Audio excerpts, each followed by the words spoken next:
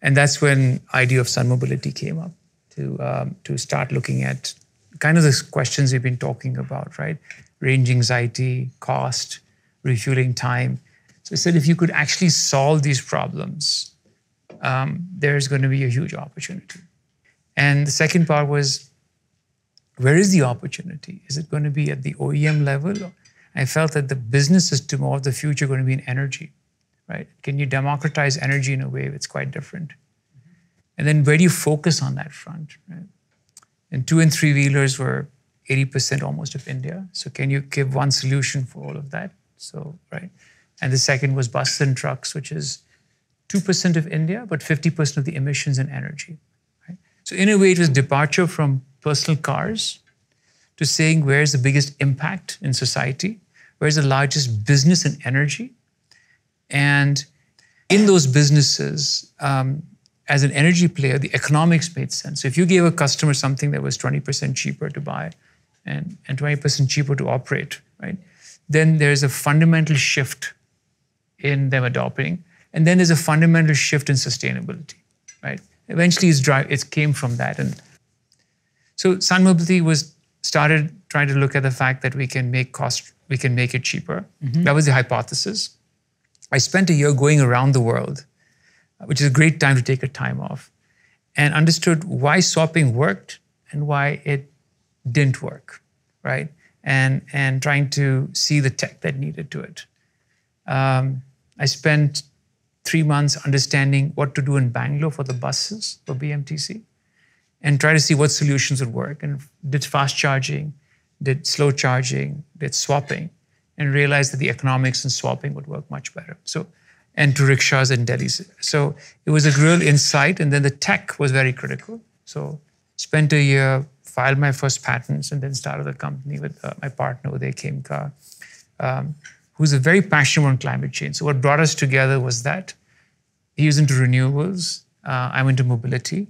Sun Mobility is where I started racing solar cars. It's also his family side of it. So everything came together with the name and what we wanted to do is how do we run the world with this. So Sun Mobility started with that ethos of really addressing these these aspects. Then. Can you tell us a bit more about that? What are you guys doing at Sun Mobility? So what we do is that um, um, we've taken two parts. Let's start with the micro mobility, mm-hmm.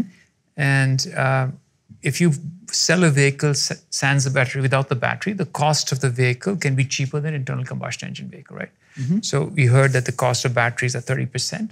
In some form factors, it could be 50%. In buses and trucks, it could be even 60%, percent mm hmm right? So depending on where you are, between 30 to 60%. So it would be the cost of the battery. So if you know the battery, battery management system, even the charging system, then the cost the any IC vehicle, any electric vehicle can be cheaper than an ICE vehicle, mm-hmm. any form factor today. Mm-hmm. And if you look at the amortized cost of energy, uh, battery, and the cost of energy is cheaper than fuel. Mm-hmm. And then if you think of I can swap it in a minute, mm-hmm. then you've addressed both the range anxiety and the refueling time. So the concept is to create battery as a service, right? But then create it across a common solution across all platforms. So we took two wheelers use one battery, smaller rickshaws use two, larger loaders use three, and something like a Tata Ace would use four batteries. So anything from a scooter to up to two tons, which is 80% of India, could use one battery and one infrastructure solutioning, right? And, and work across this format. So that was the idea around it, micromobility. And then we have solutions for trucks and buses that go from five tons to 55 tons. And we use modular batteries um, that can allow you to have one or two batteries to get you different range formats. Mm-hmm. Right? Again, you can today have a truck or a bus that's cheaper than a regular electric truck or bus, cheaper, and you can address range anxiety. So if you think of in a city, you're doing your routes, right? Uh, in a city like Bangalore, um, 92% of your routes are under 40 kilometers, right? But you do average 200 kilometers a day. Mm-hmm. So actually, why do you carry a three-ton battery when you can carry a 600 kilogram battery? So it's 2.5 tons lighter, right? And which means your energy efficiency is 10 to 15% better. And you can use a much smaller battery, and the battery is the most expensive thing. So you cut down the cost of the battery, and and to a third or so, and you cut down, cut down the cost of the station because of the high utilization. And so the economics work out much better. Hmm? These are also very long life batteries. So in uh, scooters and trucks, we uh, scooters they last probably around uh, 3,000 plus cycles. So you're making the battery, or Yes. So and we- also, what is battery swapping when my battery is out of charge? Do they come to your Yes. service point? No. So today we have uh, we have around 600 touch points. Uh, in Delhi, we have a little over 400. We have a station at every two kilometers, right? We, by the next couple of months, we'll have more touch points than all petrol stations put together. So it's really accessible within two kilometers. You can go to any network, right?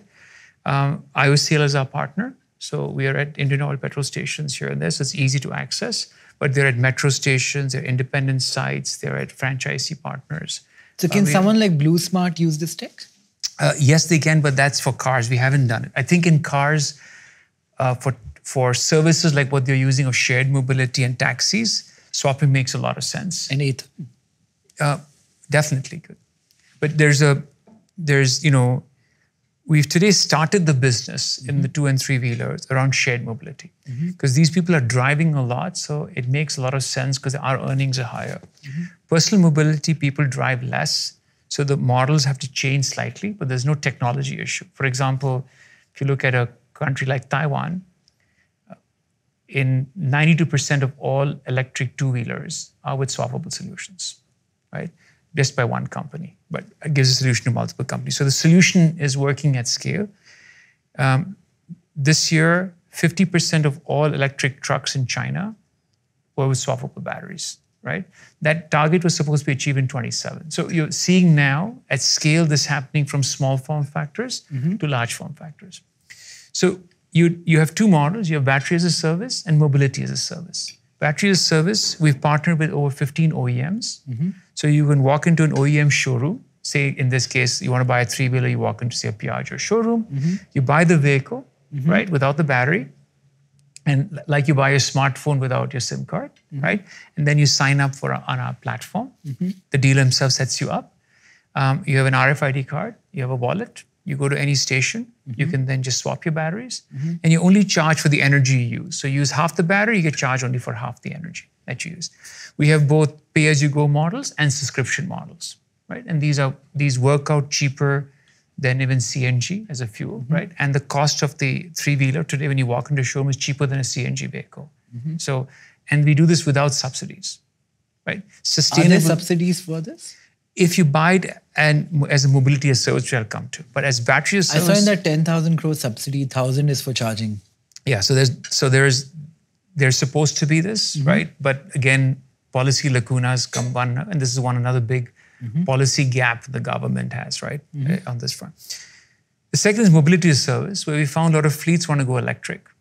And they don't want to deal with the infra. They just want to go. And when they cross 50 vehicles, they found it very challenging to run their fleets. So we give them the vehicle, the energy, data, and the whole service associated with it uh, for on a cost per month basis, right? So today we maybe have only on mobility as service we have a little over 15,000 vehicles um, with fleet providers who in turn are using them to deliver to Amazons and Flipkarts and everyone else, right? We also have infrastructure at Amazon sites. And who's the biggest client in terms of? Um, they would be partners for Amazon, so they'd be like a Zypp or Zingo and a bunch of other all these. Uh, so we're on 55 fleet customers today. They may have fleets from 50 to maybe 3,000 vehicles our, of our vehicles on their platform, right? Um, and they can go to market very quickly, right? We we in some time some months can put 1,500 vehicles on a fleet in a month, which is very difficult for them to go on, right? And now their routes change. They have no issue on range anxiety, right? Swapping anytime they want, and and it's all inclusive, right? So that's both battery as service and mobility as service business here, and then um, you know, and trucks and buses on that front. Hi, I'm Nikhil Kamath. I'd love to know what you thought of the episode. Uh, comment, like, and subscribe. And thank you for watching.